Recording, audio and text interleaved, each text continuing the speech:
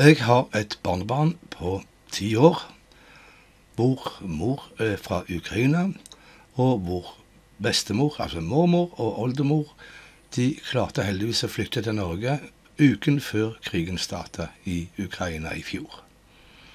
Han snakker russisk og skriver russisk òg, men selvfølgelig er han flytende på norsk, for det er her han er født og oppvokst. Men for å kunne involvere f.eks. mormor litt i hva han holder på med på skolen, så kan han skrive en historie som dette. Han kan bruke denne historien her, og så skriver han den inn. Nå bare kopierer jeg denne, da. Men så legger jeg den inn her. Kontroll V. Og så på slutten så skriver jeg 'oversett til russisk'. Og så ser vi hva som skjer. Og her ser vi det begynner altså å skrive ut på det alfabetet han kan. Når vi tenker på alle de flyktningene som er i Norge nå fra Ukraina, som skal gå på skole Men vi har ikke skolebøker i Norge på russisk.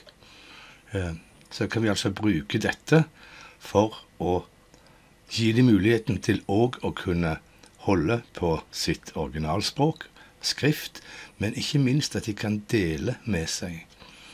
Og det som òg da er mulig, hvis vi nå kopierer dette inn i et Word-dokument, eller vi bare rett og slett kopierer teksten, sånn som dette Kontroll C, så åpner jeg opp Google Translate, og her skriver jeg Her står Russian.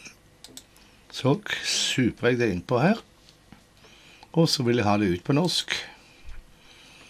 Da skal vi se her vi finner norsk. Der langt der nede var vi. Her er altså den russiske versjonen og den norske versjonen.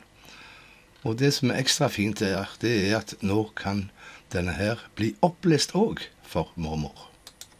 Пер и Поль отправились на велосипедную прогулку, когда внезапно попали в аварию.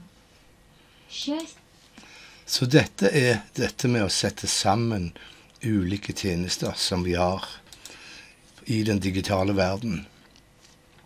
Og ikke minst med dette chat-GTP så åpner seg opp altså andre eh, muligheter. Og vi har jo mange fremmedspråklige i Norge, med mange forskjellige språk.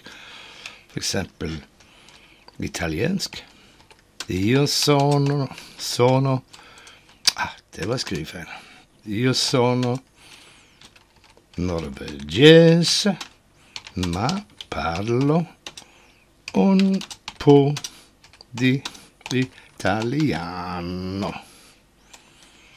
Og så skriver jeg 'kommer jeg', oversett til norsk. Jeg er norsk, men snakker litt italiensk. Det er ikke perfetto tutto. Il mondo è meraviglioso.